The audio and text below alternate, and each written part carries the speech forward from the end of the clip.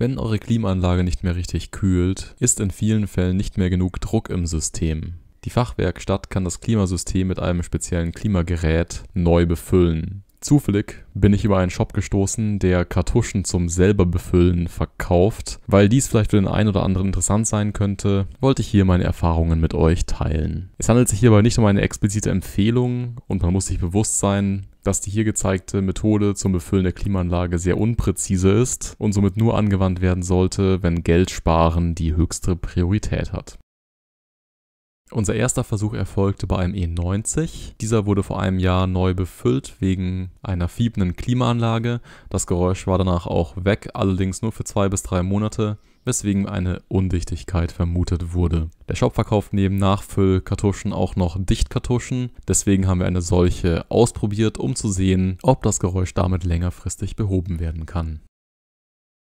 Die Prozedur ist relativ einfach. Es gibt zwei Anschlüsse im Motorraum. Der mitgelieferte Schlauch passt nur auf einen. Dieser ist näher an der Fahrgastzelle. Dann schraubt man den Druckhahn komplett heraus und die Kartusche ein und verbindet dann den Schlauch mit dem Ventil des Fahrzeugs.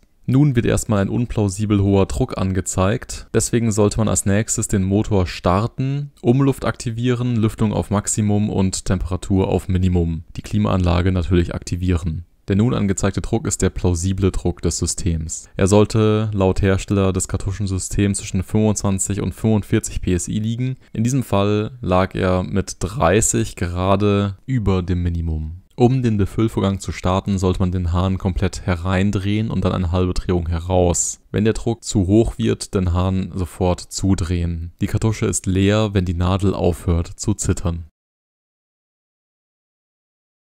Nach dem Einsatz der Dichtkartusche war das System auf etwa 45 PSI, deswegen haben wir von dem Einsatz der Nachfüllkartusche abgesehen. Das Fazit für den E90 ist allerdings, das Fiepen ist unverändert. Ob der Druck über die nächsten Monate konstant bleibt, werde ich berichten.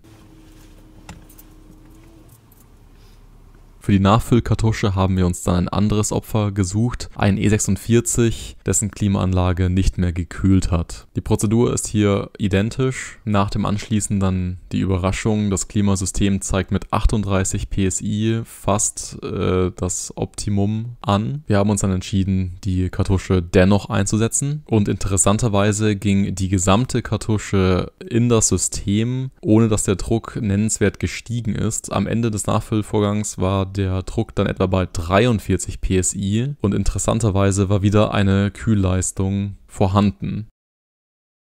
Das vorläufige Fazit zu dieser Methode ist also, es handelt sich hier um eine Pi mal Daumen Reparatur mit ungewissem Ausgang für Fahrzeuge mit niedrigem Restwert oder für Leute mit Experimentierdrang sicherlich eine Überlegung wert. Vielleicht hat es einer von euch schon mal ausprobiert und kann etwas dazu berichten. So oder so, vielleicht für einen oder den anderen von euch interessant und auch ich werde vielleicht bei älteren Fahrzeugen mal wieder darauf zurückgreifen. Bezüglich des E90s werde ich in ein paar Monaten ein Update posten. Danke fürs Zusehen und ciao und bis zum nächsten Mal.